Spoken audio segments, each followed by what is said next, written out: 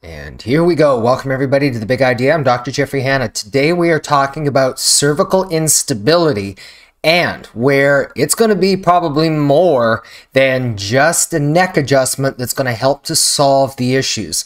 I've had a few comments come over the week here that are touching people's uh, questions on cervical instability. Here are three of them that are going to be kind of the, the highlight of this particular video. I have cervical instability of C2, C3, and C4. Can the ligaments and tendons heal or tighten on their own over time? Comment number two. Guys, upper cervical care can be helpful, but if you have a serious neck issue, you're going to need PRP injections, so protein rich plasma injections of the facet joints, ligaments, and tendons to strengthen the lax tendons and ligaments, which are allowing your discs to, quote, slip. And I'll make a, a, brief little comment. This person knows what they're talking about because even though that's a common expression, discs slip, discs do not slip. So this person does understand what's going on here um, and offers some really, really good advice that we're going to hit on here. So continue on, you can also try prolotherapy, but PRP is a lot more effective. I've been going through hell for seven years with dizziness, equilibrium, brain fog, pain, etc. And is the only treatment that is providing me relief. I hope this helps. And third comment. Hello, sir. Is it actually possible to re-strengthen the neck ligaments with some form of exercises, or do you ultimately need injections? Thank you. So this is what we're going to be getting into this particular video. There is a time and place for all of the different healthcare and medical care options. And guess what? Your success depends on what the true nature of what's going on is. If I was to sit here and say the only thing that you ever need to do is just do these stretches, just do these exercises, just get these adjustments, and that's going to fix everything, that is a lie. With increasing severity, we're going to need increasing amounts of intervention. But in the same breath, I also want to emphasize how all of these things fit together. So let's jump into this video, have a look at how you identify these kinds of issues and what to do with what you find out. Okay, first up, what I need to do is I need to address something I've talked about in a number of different videos when we're talking about different levels of injury. So firstly, ligaments are the things that hold joints in your body together. So they are essentially the glue, but they do not just hold things statically in place. They're designed to have a certain amount of flexibility, a certain amount of movement. The problem is, is if you've got too much movement, then you're dealing with where things are moving too much. This is not going to be good. Oftentimes, at least in my experience, this can happen for one of two reasons. Number one, you've got an injury where things have actually become excessively flexible. But number two, there are other levels of the spine that simply put aren't moving enough. And you've got to figure out what the difference is between those two. We're going to have a look at how you can do some basic diagnostics to tell that difference. But when we're talking about ligament injuries, we're talking about at least two different entities, things that are moving not enough and then things that are moving too much. Now, in addition to that, levels of moving too much. I've talked about this where you have different levels of injury. You have what's initially known as thinning. So this is where you have micro tearing of the ligament. So things are still pretty stable, but not quite as strong as they originally were. Then you have tearing, aka a grade 2 injury. This is where you have a partial disruption. Things are moving too much, but still within the body's capacity to be able to handle it. And then you're dealing with grade 3, torn. This is where there is a full thickness tear, and now things are really, really moving way, way, way too much. And this is, well, let me back up there a little bit. The grade one and arguably the grade two, this is where the conservative approaches are useful. Upper cervical chiropractic, physical therapy, massage, other forms of rehabilitative therapy. These are good for the grade ones and the grade twos, but when you are dealing with certain kinds of grade twos and when you're dealing with grade threes, this is where the medical intervention, either injections or surgery, is necessary to provide that additional support and stability. Now, to get to that very first question that we had there can the ligaments and tendons heal on their own over time? If we're dealing with grade one and grade two injuries, yes, until you take your last breath, your body never forgets how to heal itself. The caveat is how well can it within limitations of matter. We live on a planet with time, gravity, and stress. We have to address these things. And ligaments, tendons, at best, they heal to 70% of their original capacity. They get filled in with scar tissue, they get filled in with more lax kind of uh, ligaments, what's known as an uh, elastin or a scar tissue fiber, one of the two. And what this means is it means that if you are dealing with a ligament injury, it may never get back to 100% of what it was. Fortunately, brain's not stupid, body's not weak. It's going to find clever ways to adapt for these kinds of issues very important then that we're doing the right kinds of exercises, the right kind of stretches, and that the joints of the body, and we're going to be emphasizing on the spine, obviously, because the nature of our conversation here, these things can and do stabilize over a period of time. So I think you can appreciate if you're dealing with just thinning or if you're dealing with small tearing, yes, body's got a lot better opportunity of resolving and adapting to these issues on its own. However, when we're dealing with those big kind of injuries, it's still going to heal, but you might need a little bit more um, higher level intervention. So, if you would, you break a bone. Presuming it's not complicated, okay, what do you do? You're going to have it cast and it's going to heal. Now, it's going to heal on its own, whether you have it cast or not. The question is, is it going to heal the right way? Versus that's a simple fraction. Then let's imagine that things are absolutely shattered, where you have compromise of nerves, of muscles, of blood vessels, all this. This is going to be the time you need a little bit more, if not a lot more, advanced medical intervention to get things as good as possible then splint it up and keep a really, really close eye on that. So that's ultimately the longest way that I can make that point. That depending on the nature of the injury that you have to those tendons, to those ligaments, there is a certain threshold in terms of what can you expect in terms of your recovery, in terms of improvement conservative or simple kinds of things, they can be cons uh, managed conservatively. But if it is more severe, then you're probably going to need some type of more advanced medical intervention. So I just wanted to address that piece first and foremost. Now, the question is how do you tell the difference. There's lots of different diagnostics out there. You can be doing this with motion CBCTs. You can do this with a DMX, so digital motion X-ray. But what I'm going to show you on this particular video right now is one of the most simple and also traditional ways that you can do this. All you need is somebody who's able to do a basic x-ray assessment for your neck. Okay, so what do we have here first? What we have is a lateral or side view of a person's cervical spine or their neck. So we've got head up here, eyes, teeth, mouth, and then we've got the neck going like this. And this is not a happy neck in the uh, the best uh, best of circumstances. So number one, we are seeing that there is uh, degenerative arthritis, disc damage going down, where basically these areas right through here are flattened.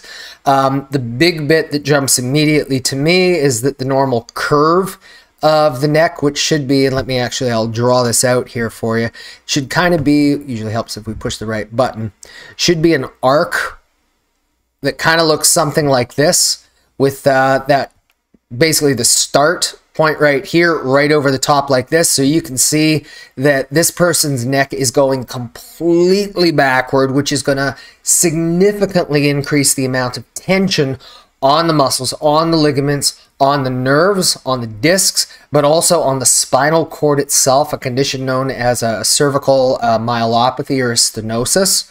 So we'll get rid of that here. But what I also want to point out on this person's films here is that if you're looking along the back of each of the vertebrae, kind of like this, you see what's known as a stair-stepping deformity. In other words, these are not forming smooth, contiguous lines. There is a disruption. And this only happens if there is pretty pronounced ligament stretching or damage. So the question is, Is this because something is just locked into the wrong position and it actually needs to move more? Or is it because you have too much movement in these particular areas? Now, what you would do then is you would do a series of tests then to find out what is the difference because one of them is something that can be managed with upper cervical chiropractic. The other one is going to need either physical therapy, which you probably need physical therapy for both to tell you the truth, but is going to involve either physical therapy and or may need injections or even surgical stabilization because it's moving way too much. And there are two ways that can be done to screen for that. So if you all have films of your own, you can kind of go through some of this uh, these protocols on your own. So let's have a look at screening method number one. And of course, it's going to make a bit of a difference if you know what some of the anatomy is that you're looking for. But this is analysis method number one to see if you are concerned about a potential area of instability that is ligaments moving too much what you do is you would identify and you draw a line across the bottom base of each of the vertebrae. You can't really do C1. C1's completely different, but you start at C2 and then you do it at C3, C4, C5, and C6. And then what you simply do is you measure that angle relative to the horizontal plane.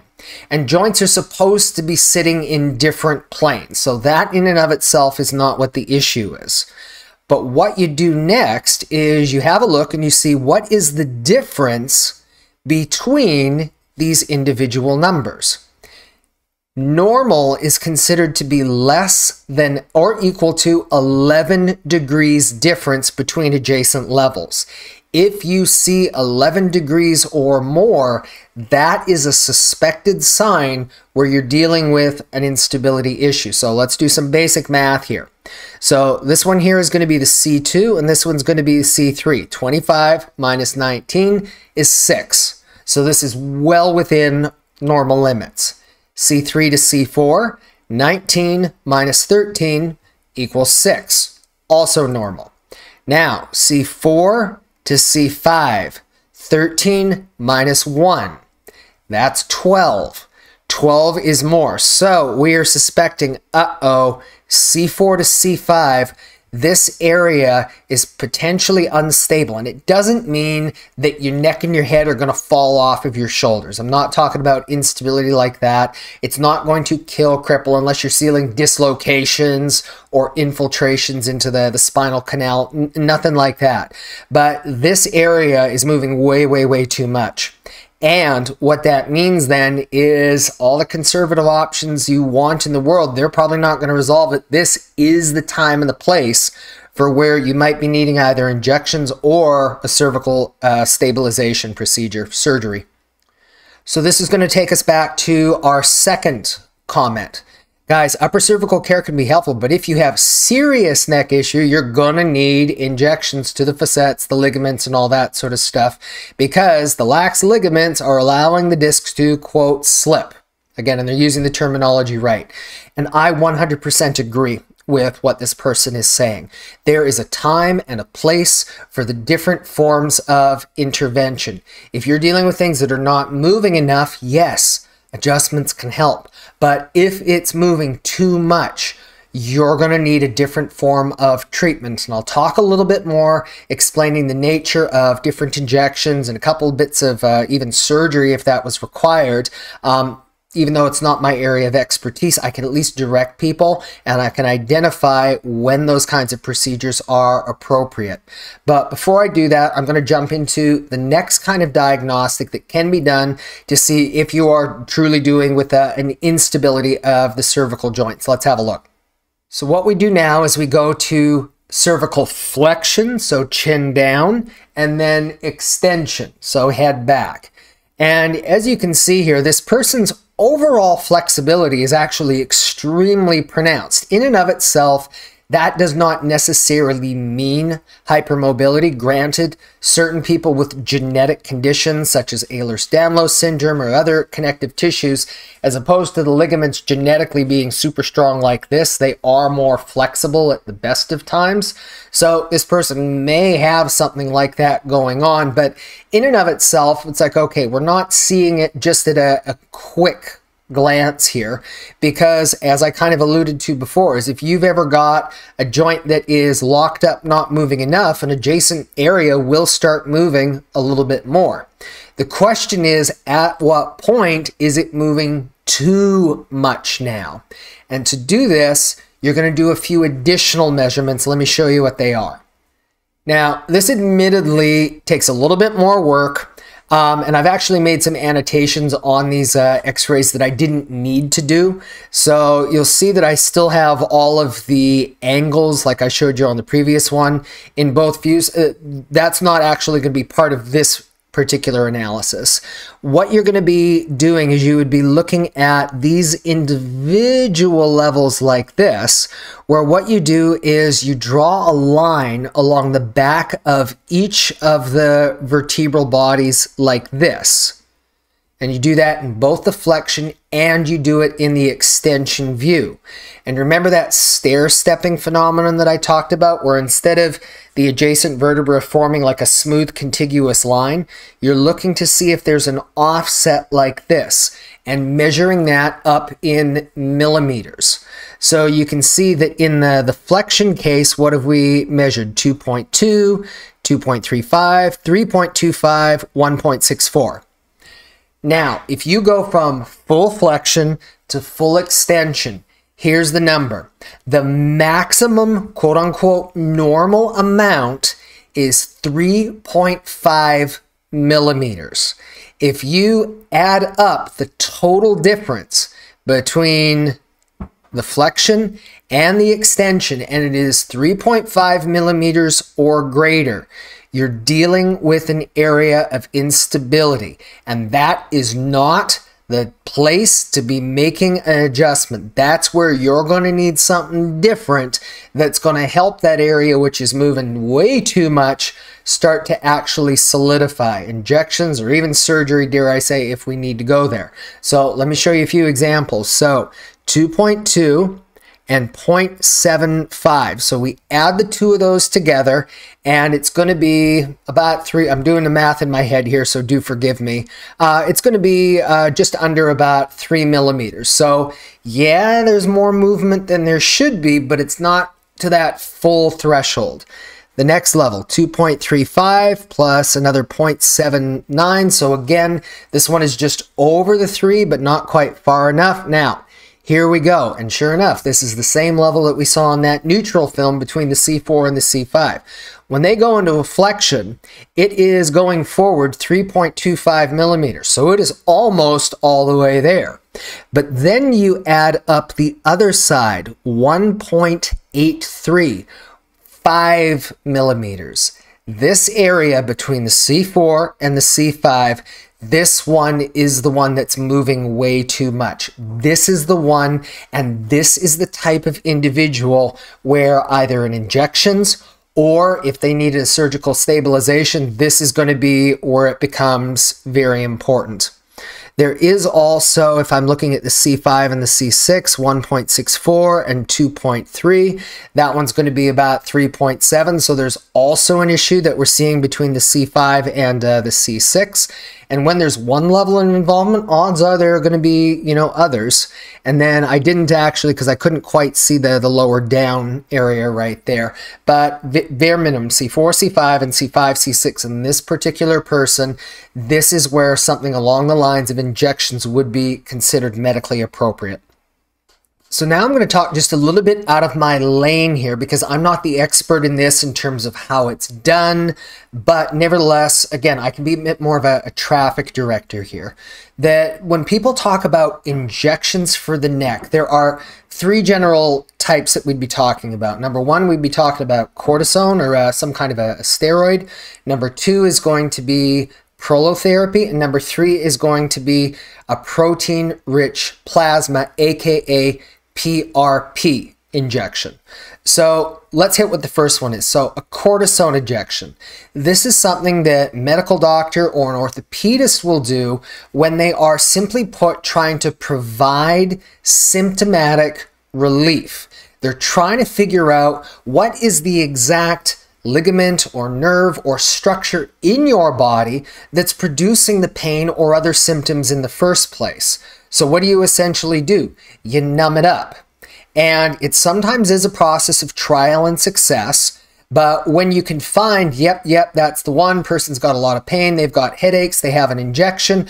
Oh, that feels better. Okay, good. We know what the structure is involved that's producing those issues in the first place. Now, what I want to say about a cortisone is that in and of itself, that doesn't fix what the issue is. It provides relief, but whatever the underlying structural issue is that created it in the first place, that is most likely still there. So, for a person, if you've had a cortisone injection at some point, I would strongly encourage you that yes, you could manage that by just having injections every few days, few weeks, few months for the rest of your life, or you can use that as an opportunity to figure out what is producing this in the first place so that the issue does not come back. So that's the, the first thing right then and there. The second one is what's known as prolotherapy. Prolotherapy is essentially a saline injection into different joints. Uh, it can be done in the knees, it can be done in the spine, including the, the facet joints in the, uh, the neck, the ones that are principally involved with moving. And the idea with the saline is that it's a relatively low grade noxious substance. And if you inject something into the body that produces just a little bit of irritation, a little bit of inflammation, it essentially says to the immune system, hey, there's an area that we have been ignoring for a while. We need to heal this up. And this can facilitate that normal healing response. Like I said, when you have a damaged ligament, at best it can heal up 70%. Well, what if it's capable of getting 70%, but it's only been hovering around 40? So by giving a pro, uh, prolotherapy injection, and again, this is not something a chiropractor does unless they have more advanced medical training. This is a medical doctor and they give the injection and what it does is it triggers or essentially stimulates the body's immune response saying hey we need to focus here. But as we had also said when you're dealing with more severe tendon injuries uh, excuse me ligament injuries so the grade 2s and the grade 3s this perhaps is where you want to consider a PRP injection protein rich plasma. What's done is basically you have your own blood drawn and it's put in a centrifuge to distribute all of the different elements. And then your own blood or your own plasma, it's injected into this site because it offers two virtues. Number one, it's going to provide that same stimulation, that rush of blood flow, which is going to produce that normal healing response. But what it's also going to do is it's going to allow for those ligaments to start to tighten. It may be with scar tissue, but we don't mind that in this particular case. Why? The ligament is already moving way, way, way too much scar tissue is pretty darn firm. So if it actually allows it to start to tighten back up this way, this is a case where scar tissue is actually going to be a good thing. So prolotherapy, really, really good, but sometimes depending on the level of the instability, kind of the way that this person's comment was directed, my opinion is that PRP would work a little bit better. Now, I don't want to lie about that. PRP is going to be more expensive. And something else that I need to, to mention right here, it is that as much as we wish that we could say, well, I'll do this as a bit of a contrast. I mean, one of the critiques that people have uh, with chiropractic is that you have to go back. It's not like a, a one and done adjustment this is true of anything. It's because, unlike your teeth, you know, you have a, a, cavity, you fill it up, you're usually good to go. But the joints of your spine, they're designed to move. And as a result, because you need to keep that motion there, normal motion, not too little, not too much, those forces of time, gravity, and stress, they have an impact. So it's not a one size fits all. Now, that said, if a person is just keep going back to the chiropractor, they feel fine as long as they go for a weekly or even a fortnightly adjustment, mm, something's not quite right there, in my opinion. And there's going to be different circumstances. People have different degrees of previous damage, arthritis, stability, instability. But a person is doing good, not great, but good, in my opinion, at entry level with their alignment and their stability holding for at least one month at a time. I prefer two months, three months, six months, a year, or even longer than that. But again, every person's going to come in with different levels of injury. But what's my point in this? Is that no matter what form of injection you are getting, it very seldom in and of itself is a one cure procedure, especially if you're dealing with two or grade three level injuries. It may require multiple injections not uncommon for a person to need somewhere between four and six treatments spanned out over a year or two. And I'm not going to lie, the procedures are quite very expensive. I mean, you can't exactly put a price on either a person's life or the degree of the suffering that they're experiencing but we do have to weigh up the economics or what are involved because everybody's going to have different amounts of time, money, energy, and also the expertise of different individuals. So, for example, a lot of people they look into what's called a, a PICL procedure. This is where you're dealing with ligament instability of the upper skull, the C1 and the C2. This area is different. To the best of my knowledge, there's only one clinic, the Centeno Schultz Clinic in Colorado. Um, I'm not sure if they're in Boulder or if they're in Colorado Springs.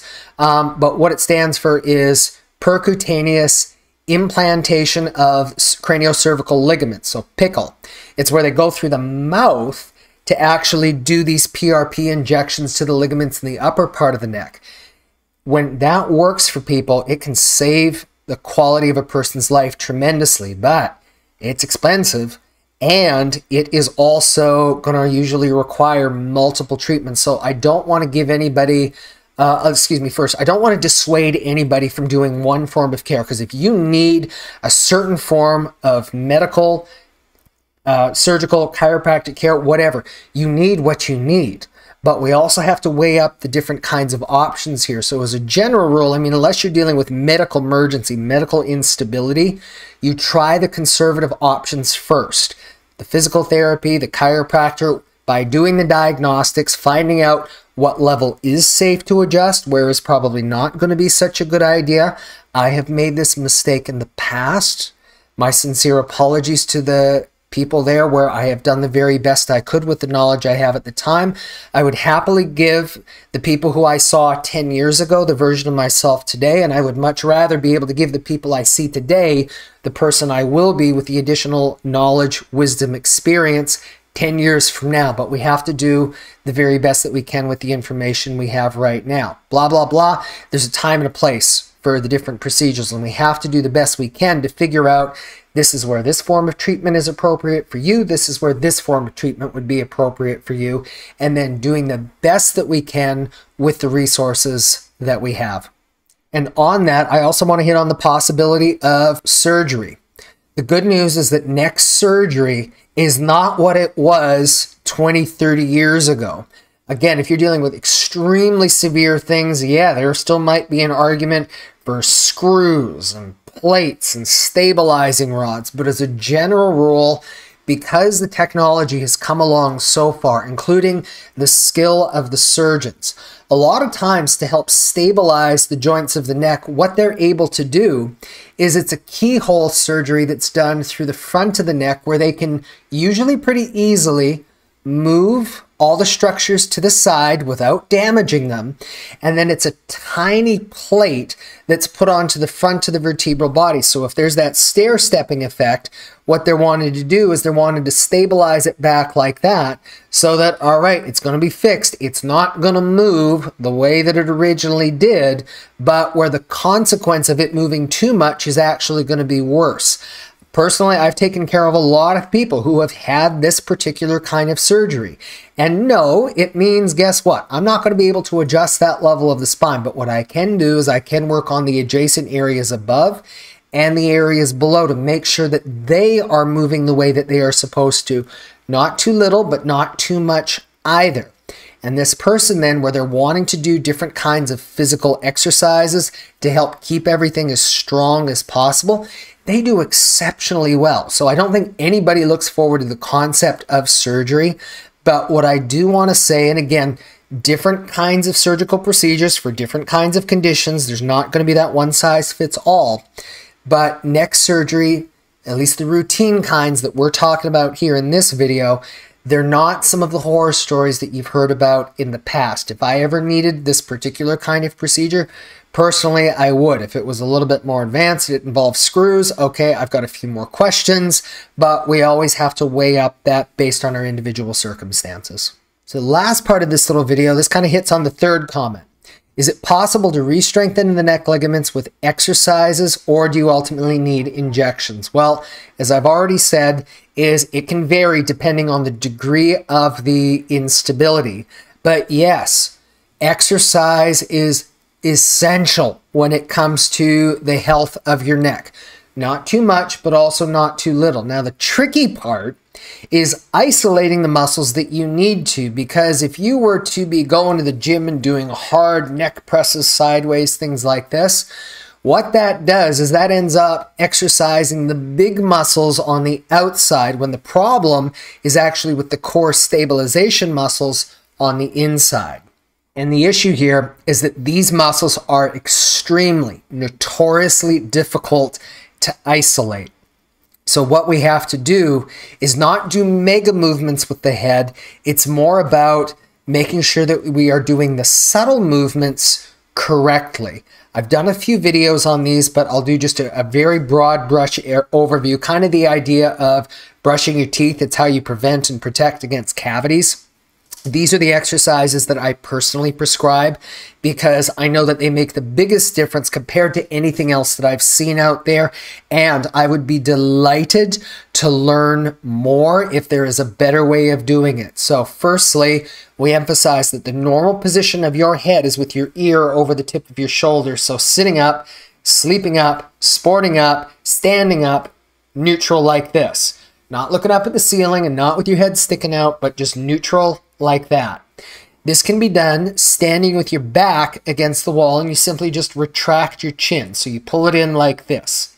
In that position, you can then do subtle little movements up and down like this, maybe an inch. Because if you start going beyond that, now you're using the wrong kinds of muscles. So just simply slow and controlled up and down. You can do the same thing side to side like this 20 repetitions. I usually don't recommend rotation. There's a time and a place for it. So again, it's just a few degrees side to side like this. But I find a lot of people, especially when they're dealing with instability or disequilibrium, that just makes them dizzy. And so that's not going to be worth agitating things. Another exercise, and this is the one that I like the very most, it's literally lying flat on your back on the floor. What that's going to do is that's going to put your spine into the neutral position. Your chin is going to come back automatically, and that's going to allow these muscles to engage just through their normal tonal action. It also stretches things on the back because, as a general rule, we're too tight on the back because of all this looking on our devices, and we're too weak on the front. But if you bring the spine into that neutral position, that allows it to activate that right kind of way, and you lie there for about 10 minutes. My opinion is that that exercise is done every single day. That does wonders for the spine. I will also say, watch this space. This was a physical therapist who kind of hinted at this to me, but I haven't seen any research and I haven't uh, tested it out myself. But I believe that doing certain movements with your tongue, the kind of activities that a myofunctional therapist would prescribe. So, sticking the tongue like this, holding on the roof of your mouth, kind of doing a sucking motion like that. I believe that that also will activate, and I think that that may actually target the direct muscles that you need to be working on in the upper part of your neck because those muscles, they share a common innervation and you cannot move your jaw and your tongue without also moving the joints of your upper neck. So even if your head is perfectly still, if you're moving your tongue, it will activate those muscles. And I think that it could be specific. So if somebody in the, the comments knows more about this than I am, please do direct me in the, the right direction. But for the interim, those subtle little movements, nodding up and down, keeping the ear back over the tip of your shoulder and then lying flat on the back on the floor. That's what I would do. I hope that helps. So there we go. A little bit longer video than I had intended to in the very beginning, but as you can see, there's a lot of different layers to this. And I know a lot of times people have a lot of questions. How do we know if we're dealing with not enough motion, too much motion, and then what do I do with that? Who do I see? Do I need the chiropractor? Do I need the physical therapy? Do I need the injections? And then what kind of injections? Do I need surgery? So there's a lot of layers that are involved.